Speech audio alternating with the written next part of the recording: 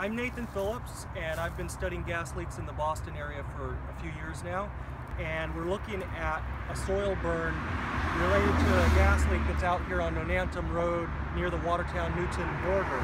And so you can see that the soil is really very bare and desiccated, little patches of greenery until you get up to this area and it gets a whole lot greener.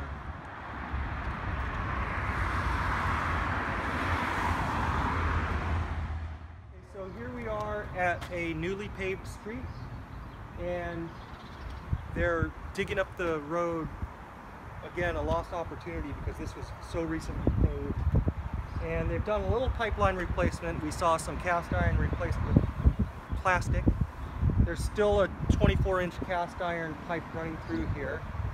We looked at drill holes coming from the end of the street this way and didn't smell any gas coming out of them but after this steel plate we start to smell it here. So kind of makes sense that they're kind of working this way and and and you know triaging this leak uh, in, in in this direction.